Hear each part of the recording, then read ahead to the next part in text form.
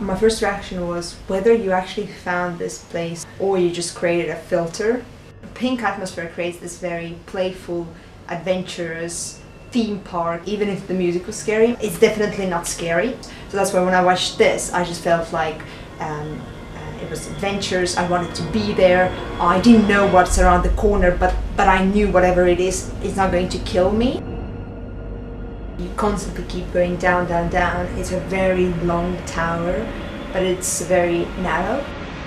It didn't end any anywhere, so it wasn't.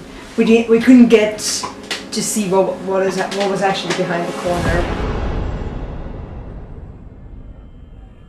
I like this kind of excitement. I think I'm a, I'm I have this personality that I would hate if I know exactly what my day would be. I think that would be the most boring life ever and I've never lived like this. And and because of that this has really resonated with me.